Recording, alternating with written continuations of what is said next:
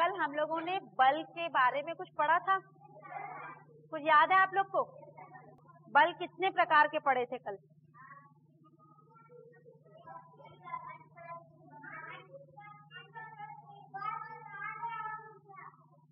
बल के प्रकार। कल हमने क्या पढ़ा था? बल क्या होता है? एक मिनट। धक्का या खिंचाव? जब हम किसी चीज़ पे बल लगाते हैं तो क्या करते हैं? एक मिनट पहले सुनो। या तो धक्का लगाते हैं, या उसको अपनी तरफ़ खींचते हैं। तो धक्के या खिंचाव को बल कहते हैं। बल के प्रकार तो पढ़ लिए, लेकिन बल होता क्या है?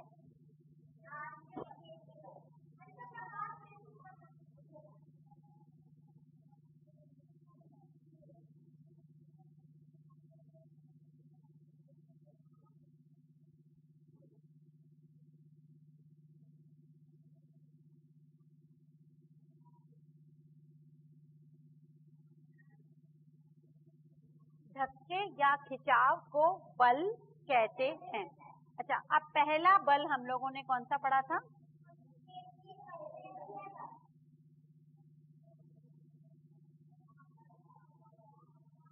दूसरा?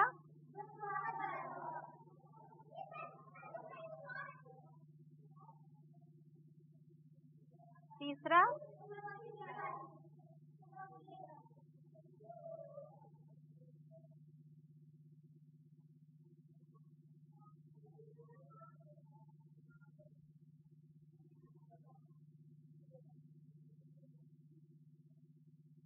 बल और विद्युत बल। हमने इनके प्रकार भी पढ़ लिए और अच्छे से जान लिया था कि ये कैसे कार्य करते हैं और इनके उदाहरण भी हम लोगों ने देखे थे। आज हमें ये पता करना है कि ये बल, इसके लगाने की युक्ति क्या है? मतलब कैसे ये बल हम लगाते हैं? किसी चीज़ पर जब हम बल लगाते हैं तो वो कैसे लगाते हैं? क्या बल लगाने की और कोई युक्तियाँ भी हैं? क्या आप जानते हैं कोई उदाहरण ऐसा? जिससे कि आप बता सको कि मुझे ये बल लग रहा है। सबसे पहले आज अब कौन सा त्योहार आने वाला है? दशहरा। दशहरा में राम ने रावण से क्या किया था? एक बच्चा बताओ। राम ने रावण से क्या किया था? सब लोग चुप। अच्छा और कौन मारा गया? रावण। और कैसे मारा? तीर कमान से मारा। तो याद है ना कि कैसे रावण तीर कमान से मरता है? आप लोगों ने धनुष देखा है? धनुष देखो, ऐसा होता है ना? गोल कमानी होती है और नीचे धागा बंधा होता है और इस तरह का धनुष होता है। अगर इस धनुष में हम तीर लगाएँ और किसी के ऊपर भी, जैसे कोई जानवर है, चिड़िया है या पेड़ है, कैसे भी किसी पर भी हम लोग निशाना लगा सकते हैं। तो ये क्या है? ऊर्जा लगाने का साधन है। अच्छा आप लोग वो जानते हैं जो गुलेल होती है? गुलेल से पत्थर मारते हो तो फल भी गिर सकता है और किसी चिड़िया को भी मार तो ये जो ऐसी चीज़ें होती हैं, जैसे गुलेल, तीर कमान, ये साधन कहलाते हैं। ऊर्जा लगाने के साधन। अच्छा अगर मैं ऐसे ही तीर फेंकूँगी ना तो ज़्यादा दूर नहीं जाएगा और उस पर वार भी वो ठीक से नहीं लेकिन अगर मैंने उसको ऐसे कस लिया और इसमें मैंने ये तीर जैसे समझो ये एक तीर है या ये एक तीर है समझिए अच्छा इसको पकड़ो यहाँ से ऐसे ये ऐसे और हमने इसको यहाँ पर ऐसे इसको फिक्स आपको मालूम है ना तीर कमान कैसे चलता और जब यहाँ से इसको यूँ पकड़ के यहाँ खींच के छोड़ते हैं तो ये दूर तक जाता है और बहुत दूर तक ऐसे ही तीर से राम भगवान ने रावण को मारा था। तो ये धनुष या तीर कमान ऊर्जा लगाने की एक युक्ति है। क्या है? मतलब एक मेथड है कि हम इस तरीके से तीर चलाकर किसी को भी मार सकते हैं। देखिए, इस चित्र में भी आपको एक लड़का तीर चलाता हुआ दिख रहा है। दिख रहा है? श्रीडाउन ऐसे ही मिलता है बाज़ार में? अब सब लोग घर में आज एक एक तीर कमान बनाएँगे और देखेंगे किसका तीर कितनी दूर तक जाता है। ये वाला देखो चित्र। पता चल रहा है ना कि इससे हम एक पहला अर्थ क्या हुआ? बल लगाने की युक्तियाँ।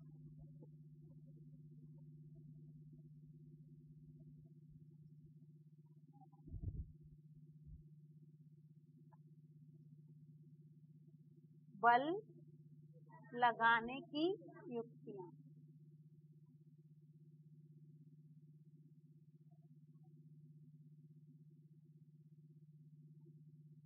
युक्तियाँ होता है मतलब मेथड उसके क्या क्या तरीके हैं। सबसे पहला तरीका हमने देखा तीर कमान क्या देखा? आप लोगों ने सबने चाबी वाले खिलौने देखे? और चाबी वाली घड़ियाँ देखी हैं? जब हम किसी खिलौने के अंदर चाबी भरते हैं और उसको ज़मीन में छोड़ते हैं तो वो थो, थोड़ी देर के बाद वो रुक जाता है। अपने आप। क्यों रुक जाता है? वो इसीलिए रुक जाता है थोड़ी देर के बाद कि जब हमने चाबी उसकी कसी थी तो उसके अंदर एक स्प्रिंग होती है। क्या होती है? वो टाइट हो जाती है। हैं? और जब हमने उसको ज़मीन में छोड़ा तो वो स्प्रिंग खुलने लगी। और जब स्प्रिंग पूरी खुल जाती है तो वो तो चाबी वाले खिलौने भी एक बल लगाने की युक्ति है। चाबी वाले खिलौने और घड़ी भी तो है। चाबी वाली घड़ी।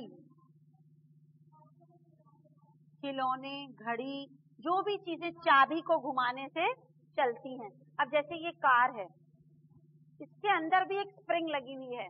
मतलब जैसे मैं चलाऊँगी ना इसको, थोड़ी देर के बाद ये बंद हो जाती है। ये देखिए, आवाज़ आ रही है ना स्प्रिंग की? वो स्प्रिंग उतनी खुली और फिर वो बंद हो गई। अच्छा जैसे ये है, ये। इसके अंदर भी एक स्प्रिंग लगी हुई है। इसके अंदर हम एक तार यूँ डालते हैं और ये खींचते हैं तो वो स्प्रिंग टाइट हो जाती है और तब वो चलती है। ये भी स्प्रिंग वाला खिलौना है, वो भी स्प्रिंग वाले हैं। तो ये जो खिलौने हैं, ये साधन है किस चीज़ के? बल लगाने के। अच्छा ये बताओ, जैसे मैंने अभी आपको तीर कमान बताया था। अगर ये तीर कमान मतलब ये ऐसे तो है, अगर मैं इसको इसमें न लगाऊँ और कसूँगी नहीं तो क्या बल लगेगा? तो जो जो बल लग रहा है, ये इसके कसाव से आ रहा है।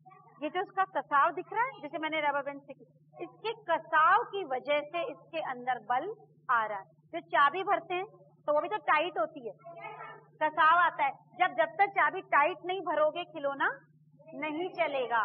तो इस कसाव की वजह से बल लगाया जा सकता है। अब बात समझ में आई कि चाबी वाले खिलौने और ये जो तीर कमान के अंदर जो बल लग रहा है, वो इसमें कसाव की वजह से लग रहा है। ये आप धागे से भी कर सकते हो, एक रबर बैंड से भी कर सकते हो। और बल लगाते ही तीर गतिमान हो जाता है और दूर तक, बल तो हमने कम लगाया, लेकिन तीर बहुत दूर तक आगे चला जाता है। अब इसके बाद ये बताओ, जैसे मैंने अभी आपको ये बताया मोटरसाइकिल कार। गाड़ी, अपनी स्कूल की बस, हवाई जहाज़ ये जो ट्रेन मतलब जो भी मोटर से मतलब जो गतिमान चीज़ें होती हैं, वाहन जो, इनको बल कौन देता है? पेट्रोल। आप लोगों ने देखा होगा, जितना पेट्रोल हम लोग भरवाते हैं, गाड़ी केवल उतना ही चल अगर हमें चार बाग जाना है, यहाँ से दस किलोमीटर दूर है, अगर मैं बोलूँगी, बस इसमें पाँच रुपए का पेट्रोल डाल दो। तो शायद हम लोग न जा पाए। मतलब उतना पेट्रोल उसमें है ही नहीं कि गाड़ी जा सके। तो हम लोग उसको एक लीटर या आधा लीटर पेट्रोल भरवाते हैं और फिर वहाँ तक जाते हैं। इसका मतलब कि कोई भी चीज़ जो चलती है, जो गतिमान होती है, उसको ऊर्जा की आवश्यकता होती है। अब तीर कमान को भी ऊर्जा की आवश्यकता थी, लेकिन वो खिंचाव से मिल गई। चाबी वाले खिलौने को स्प्रिंग से मिल गई।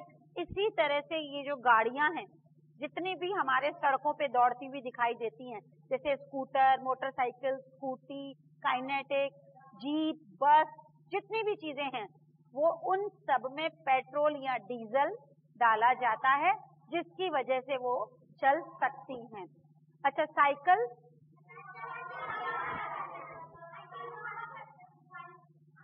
एक मिनट। क्या साइकिल में पेट्रोल भराया जाता है? साइकिल में कौन सा बल?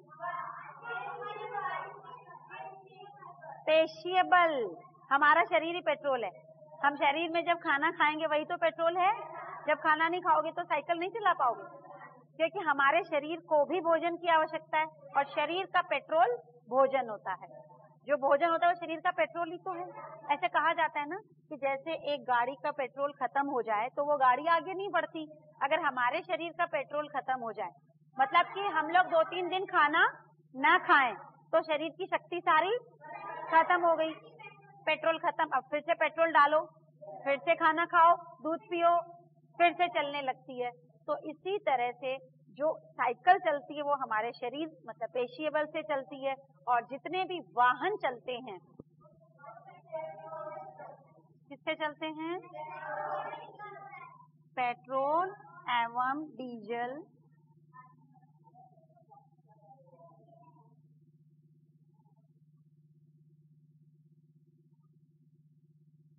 पेट्रोल और डीजल से चलने वाले वाहन भी एक बल लगाने की युक्ति है। इसी की वजह से हम लोग बल लगाते हैं। और और कोई बल लगाने की युक्ति किसी को मालूम है? आपने घोड़ा गाड़ी नहीं देखी है? वो मतलब टोंगा नहीं देखा है? हल चलाते हुए बैल देखे, कोलू के बैल देखे, जो तेल पिड़ाते हैं जिसके अंदर। तो ये क्या हो रहा है? वो अभी तो बल लग रहा है। लेकिन उसमें बल कौन लगा रहा है? जानवर। उसमें बल कौन लगा रहा है? तो जानवर भी लगा तो पेशिया ही बल रहा है।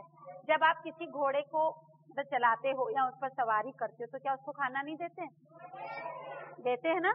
इसका मतलब कि उसके अंदर उस खाना खाने से एक बल आता है, जिसको हम पेशीय बल कहते हैं, और वो हमारे लिए काम करता है। अब सवाल ये उठता है कि ये तीर कमान, ये तो हमने आपको दिखा दिया कैसे बना। चाबी वाले खिलौने भी मालूम है कि इनके अंदर एक स्प्रिंग लगी होती है। क्या लगी होती है? स्प्रिंग, जिसकी वजह से ये चलते हैं और पेट्रोल और डीजल वाहनों में भरा जाता है। अब कोयला, कोयले से भी तो कुछ होता है। ट्रेन, पहले के जमाने में ट्रेनें कोयले की से ही चलाई जाती थी। धुआँ, जो काली इंजन छुक छुक करके चलती थी, वो कोयले से भाप बनती है और भाप से इंजन चलता है। अच्छा और कोयले से क्या होता है? प्रेस होता है हाँ और खाना बनता है। बड़े बड़ी होटलों में भट्टियाँ होती हैं ओवन होते हैं, वो आजकल इलेक्ट्रिक हो गए, नहीं तो पहले के जमाने में सब कोयले की भट्टियाँ आजकल भी होती हैं, कोयले की भट्टियाँ। जिन, जिनसे कि ये जो ईट के भट्टे और ये सब जो होते हैं तो ये लोग कोयला जलाकर क्या करते हैं? ऊर्जा। कोयला जलाने से क्या मिलती है? ऊर्जा। मतलब गर्म होता है ना? और उस ऊर्जा से ही तो फैक्ट्रियों में काम होता है। तो कोयला और पेट्रोलियम, ये कैसे बना? किसी को मालूम है? कोयला और पेट्रोलियम कैसे बना?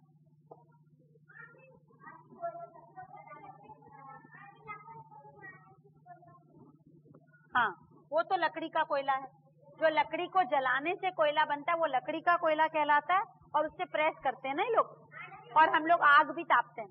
जैसे सर्दियों में जब लकड़ी जलाते हैं, कोयले जला के अंगीठी रख देते हैं तो हम लोग हाथ अपने गर्म करते हैं। वो तो लकड़ी का कोयला है। लेकिन वो वाला कोयला जो पत्थर पत्थर का कोयला।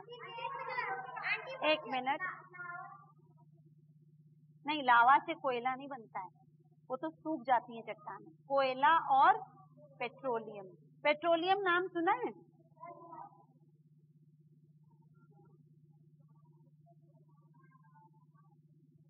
कैसे बना?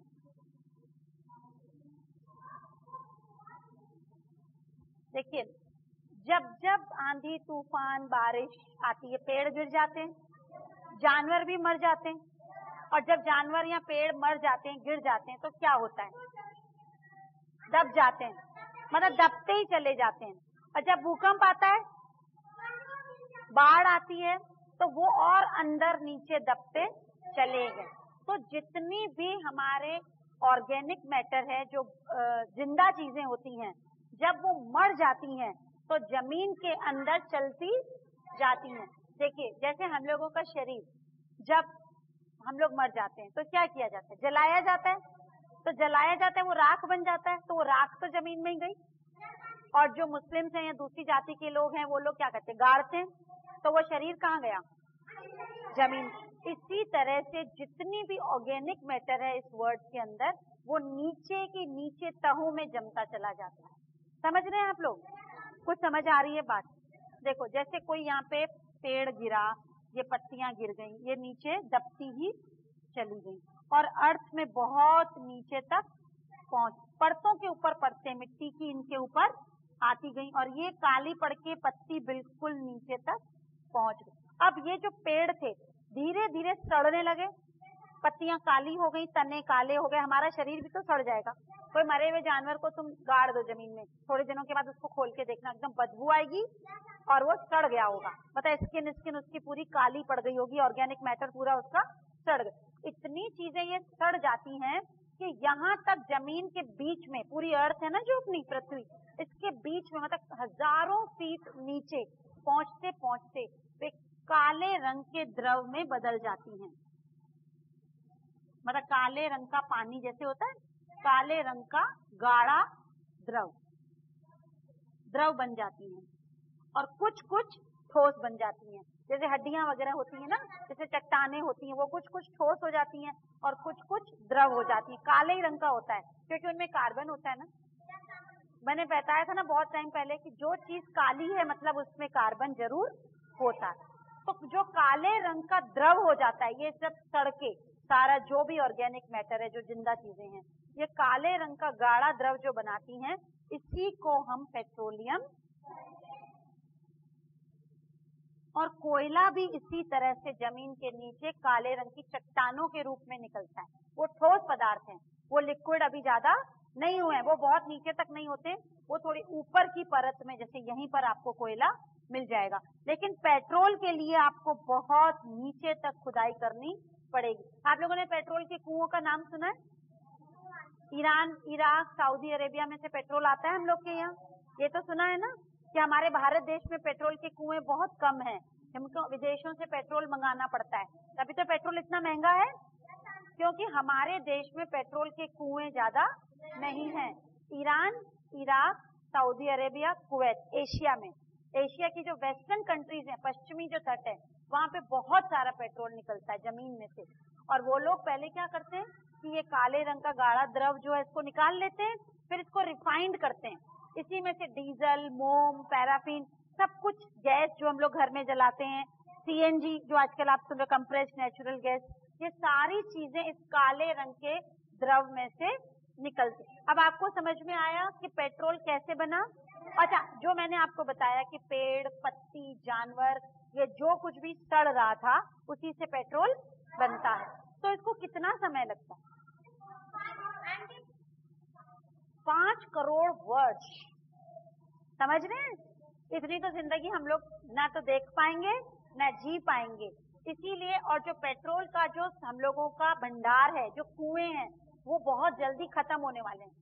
क्योंकि हम लोग इतनी ज़्यादा गाड़ियाँ चला रहे हैं। सड़कों पे गाड़ियाँ देख रहे हो? बहुत ज़्यादा चल रही हैं। तो ये पेट्रोल बहुत जल्दी खत्म हो जाएगा। तो हम लोग को क्या करना चाहिए? हाँ अगला टॉपिक हमारा है ऊर्जा की बचत। क्या करनी है?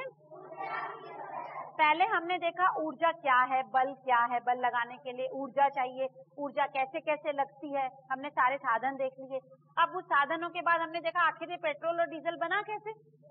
ये भी पता चल गया कि पेट्रोल और डीजल बन गया, भाई ऐसे सड़ गई और पाँच हज़ार करोड़ वर्ष जब एक पौधा मरेगा तो पाँच हज़ार साल के बाद वो जाकर पेट्रोल बनेगा। तो सोचिए कितने साल लग जाएँगे। हम लोग तो देख भी नहीं पाएँगे। हम लोगों की उम्र कितनी होती है? पचास साल, साठ साल, सत्तर साल? बस फिर मर जाते हैं हम लोग। तो हम लोग तो और जब ये जितनी गाड़ियाँ जो चल रही हैं सड़कों पर, ये सब बंद हो जाएँगी। क्यों बंद हो जाएँगी? क्योंकि पेट्रोल ही खत्म हो जाएगा। अब आपको ये बताना है कि हम लोग इसका बचत कैसे करें?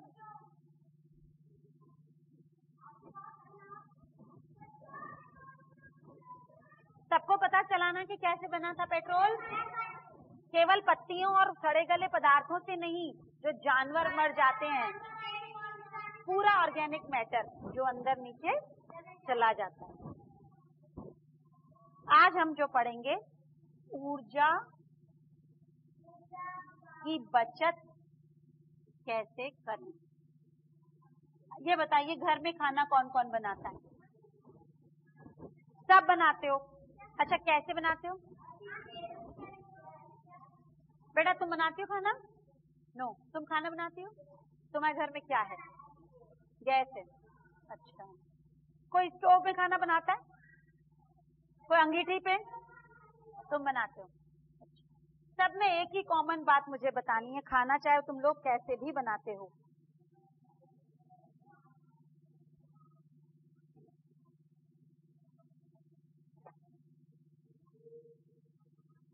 यहाँ पर एक चित्र दिखाई दे रहा है, सब लोग इसको ध्यान से देखें। स्टोव भी है और गैस भी है, दोनों पे भगोने रखे हैं। दिख रहे हैं भगोने? और भगोने में पानी भी है और पानी के ऊपर कुछ भाप भी है। हाँ तुम्हें नहीं दिखा। देख। दिखा? ये गैस और ये स्टोव भगोने रखे हैं। खूब फास्ट फ्लेम आ रही है मतलब जल रहा है स्टोव। और यहाँ भी गैस ऑन है, खूब फास्ट चल रही है और पानी उबल रहा है। तो क्या ये तरीका सही है? जब पानी उबल रहा है, इतनी भाप बाहर निकल रही है तो स्टोव जो है बहुत तेज क्यों चल रहा है? इसकी फ्लेम को कम करो या इसको बंद करो। मतलब जब आपका खाना या जो भोजन आप बना रहे हो, अगर वो खोलने लगता है, जैसे चाय, दूध, पानी तो उसको धीमा कर दो या गैस को बंद कर दो। चाय को ऐसे नहीं, घंटों हम लोगों ने स्लो कर दिया और भूल गए कि चाय बन रही है तो कितनी गैस बर्बाद हो गई।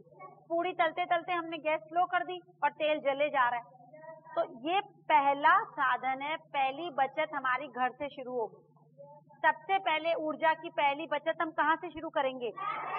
घर से। और घर में जो सबसे पहला उपाय करेंगे वो गैस और स्टोव को कम करेंगे।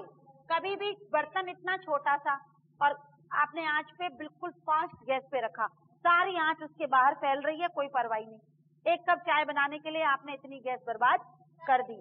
अच्छा जब आप लोग अंगीठी चलाते हैं लकड़ी के कोयले से या लकड़ियों से तो जैसे जितना आटा होता है या सब्ज़ी बनानी होती है, उसके हिसाब से लकड़ी डालते हो? अगर जो लोग ज़्यादा डाल देते हैं तो वो मतलब क्या है?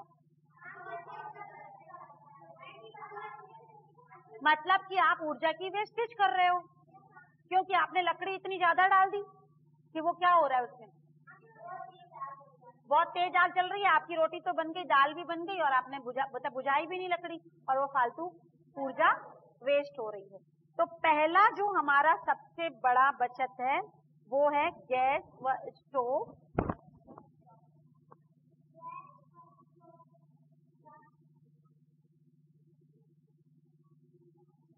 का उचित उपयोग। मतलब और दूसरी एक और गैस को बताती हूँ मैं आपको। आप लोग खाना बनाते हैं ना तो जब सब्ज़ी चढ़ानी होती है तो किसमें चढ़ाते हैं?